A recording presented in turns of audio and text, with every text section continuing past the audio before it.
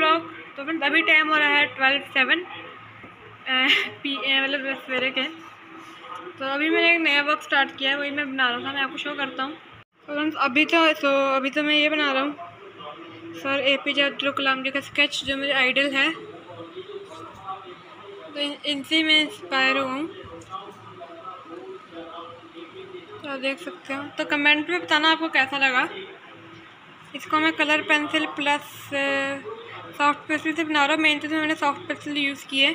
Colour pencil में थोड़े बहुत जगह पे यूज़ कर रहा हूँ क्योंकि ये बहुत छोटा ए फोर साइज़ है तो ए साइज़ पे सॉफ्ट पेंसिल नहीं यूज़ हो सकते। तो ये सॉफ्ट पेंसिल कैमलिन की मैं यूज़ कर रहा हूँ। कैमलिन की कलर पेंसिल यूज़ कर रहा हूँ मैं। इसमें बॉक्स में बॉर्नविटा के बॉक्स में रखी हुई है। अभी तो मैं इसको ही बना रहा था। वैसे मैं अपने ये वाले टेबल के ऊपर बनाता हूँ। तो अभी मैं ये वाले टेबल के ऊपर बना रहा था क्योंकि वो छोटा है तो बड़ा है, इसमें आराम से देखता है। तो कमेंट में बताना आपको कैसा लगा। इसकी आउट इनकी आउटलाइनिंग भी मैंने फ्री हैंड ही की है। तो आजकल मैं फ्री हैंड आउटलाइनिंग ही कर रहा हूँ। जो मैंने ट्रिगड इंसान वाला भी स्केच मैंने बनाया है। तो उसकी मैं वीडियो आज अपलोड कर दूँगा ब्लॉग से तो पहले ही आएगी।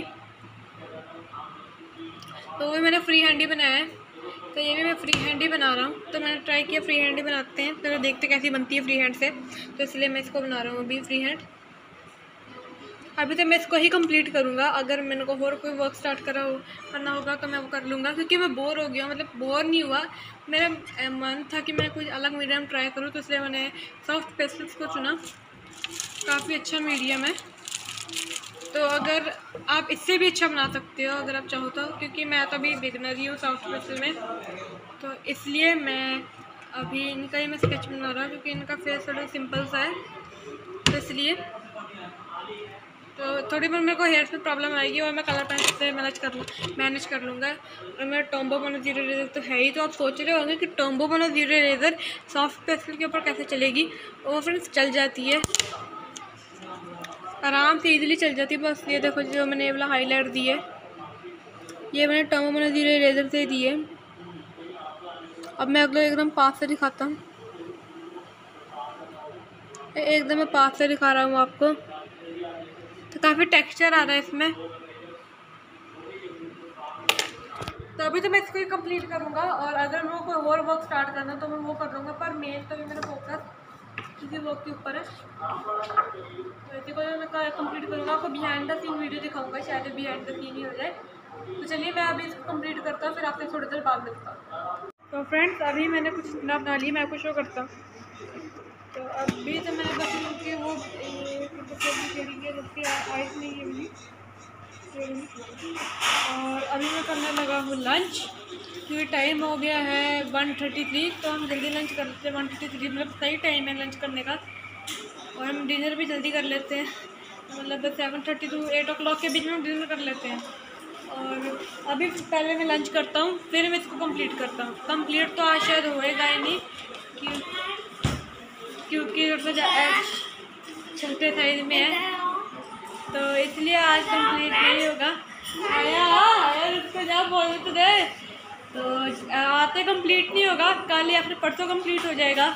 उसके बाद मैं इसकी वीडियो डाल दूँगा। आज तो मैं शायद ट्रिगड इंसान की वीडियो डालूँगा। तो आप देख चेक कर लेना। अगर मेरे चैनल पर आ जाएगी। आठ बजे चैनल के ऊपर। अगर किसी ने भी आठ बजे चैनल सब्सक्राइब नहीं किया तो वो भी कर लेना।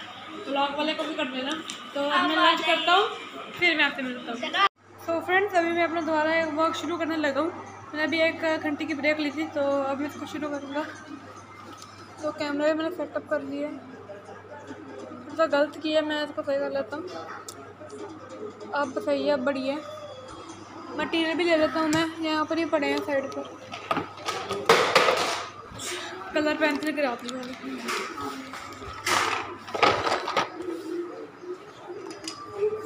तो ये आ गया हमारे मटेरियल तो जो मेरे को चाहिए होगा शेड तो मैं यहाँ से ले लूँगा।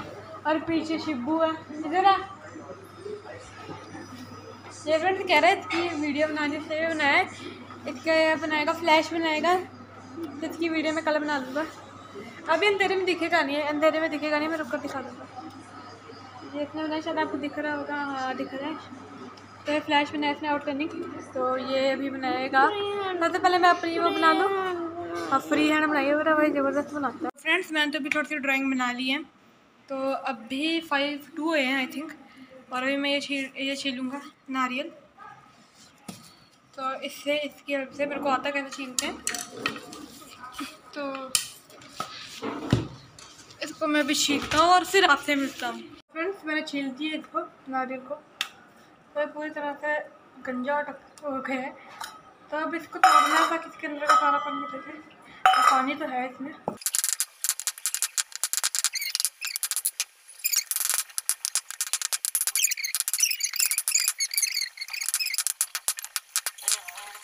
फ्रेंड्स नारियल तो टूट चुका है टूट चुका है। मेरे पापा जी ने तोड़ दिया था तो हम खा रहे हैं नारियल। तो से टूट नहीं रहा था तो पापी ने तोड़ दिया तो मैं आपको अभी ड्राइंग दिखाता हूँ, इतनी कम इतनी कंप्लीट हुई है। ये दिख रही होगी। इसमें फ्रेंड मैं टाइम मैं लगा रहा हूँ, लग नहीं रहा, पर मैं सवेर से इसको बैठा हूँ, अभी तक इतना अच्छे रिज़ल्ट आया नहीं, पर तब भी अच्छे है। इसमें सॉफ्ट पेस्टल यूज़ कर रहा हूँ तो काफ़ी अच्छा मीडियम है, आप भी ट्राई कर सकते हैं सॉफ्ट पेस्टल को।